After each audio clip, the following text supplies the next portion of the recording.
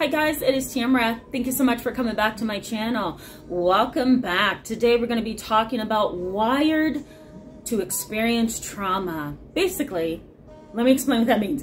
Basically what that means is that there has been some particular trauma somewhere in your family, so intergenerational trauma, or you have experienced trauma yourself. And what happens to the brain is that it actually rewires itself. There's a ton of neurological and neuroscientific pieces of the brain that rewires itself. And so you become wired wired in a way to experience trauma. And I'm going to explain that a little bit more as we go along in today's video. So let's just not waste any more time.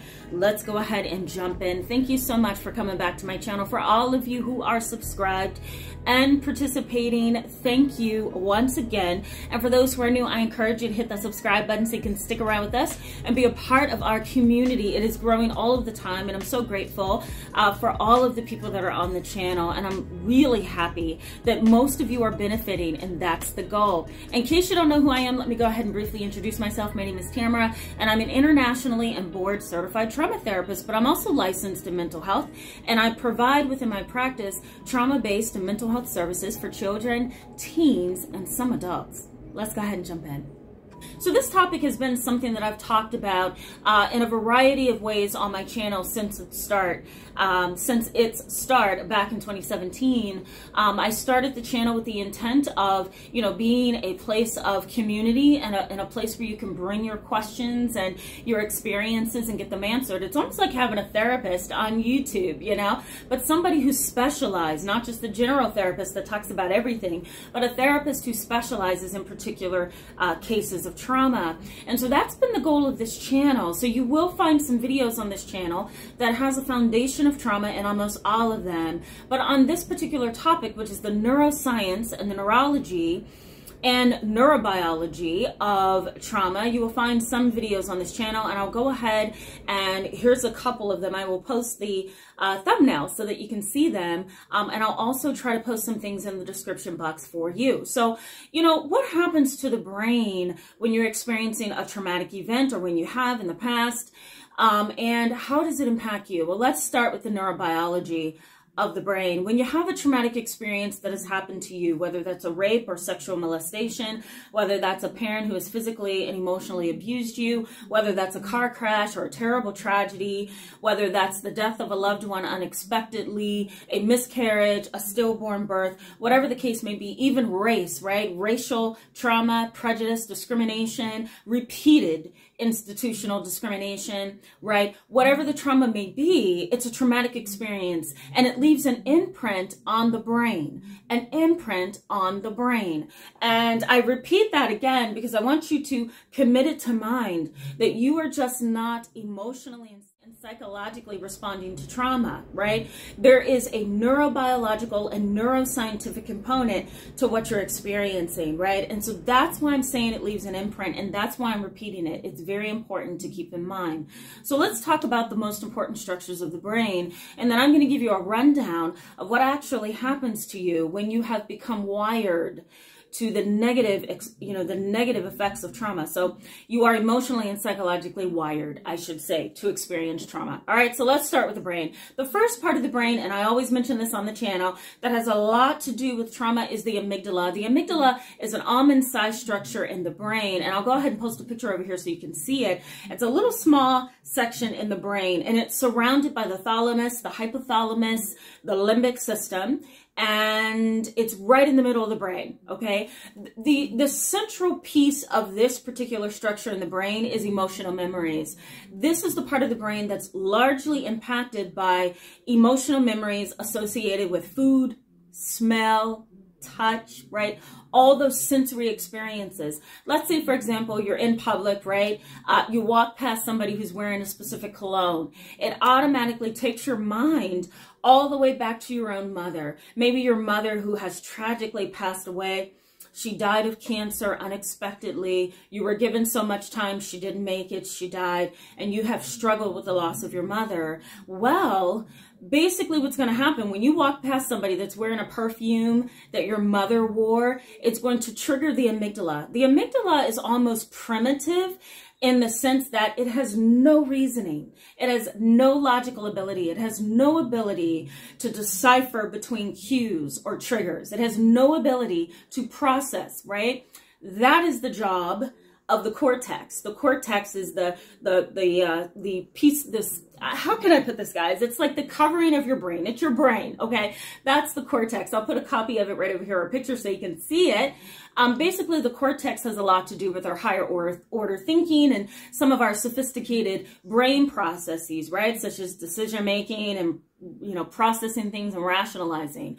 The amygdala does not have that. The amygdala responds immediately immediately to emotion, to triggers, to cues. It has no ability to decipher between cues or anything. It just responds.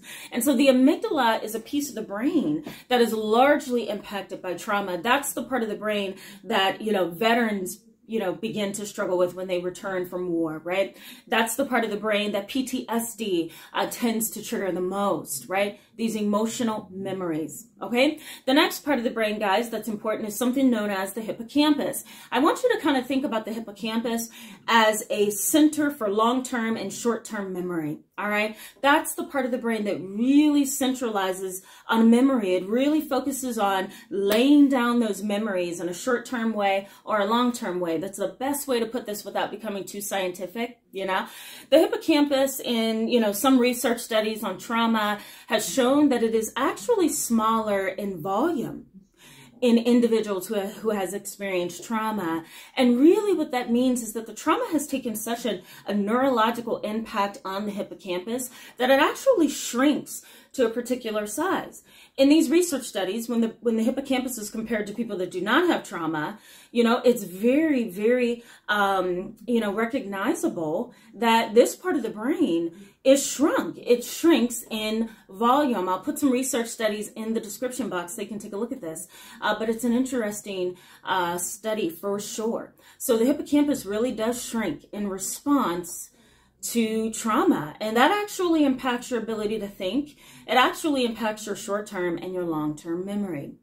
Another part of the brain that I focus on a lot on this channel is the prefrontal cortex. Now, the prefrontal cortex is right here. It's behind the forehead, all right? And basically what happens in the free, the prefrontal cortex, excuse me, is that you have your decision making there. Your impulse control is there. Parts of your personality development is there, right? This is a central location for making decisions, for thinking rationally, um, for processing, you know, the black and white aspects of decision making, right? When that particular part of the brain has been impacted by trauma, you may see some personality change. You may also see some impulsivity, right? You're not able to kind of pump the brakes and pause and think things through. And you're definitely going to recognize an inability to make decisions. These are actual neurological changes that the brain goes through.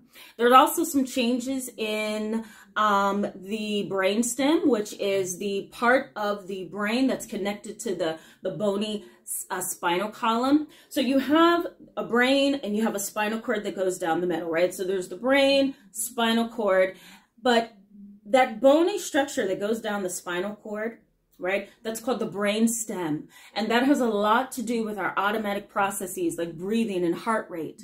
And that is largely impacted by the sympathetic and the parasympathetic nervous system. And I talk a lot about that in this video right up here. So go ahead and check that out. I'm not going to go into that in this video, but the sympathetic and the parasympathetic nervous system tends to be largely impacted by trauma. It really is in simple terms, the fight or flight system. And there's a lot that goes on there. Okay, so these are the neurobiological and neurological components of trauma. These are things that you are likely to deal with when you have experienced trauma, psychological, emotional, physical, and even traumatic brain injuries whatever the trauma may be, you're likely to experience all of these things. This is why it is important to understand how you become wired to experience trauma. You're not just having an emotional and psychological experience, you're having a neurobiological experience as well. Thank you so much for being with me today, guys, in this video.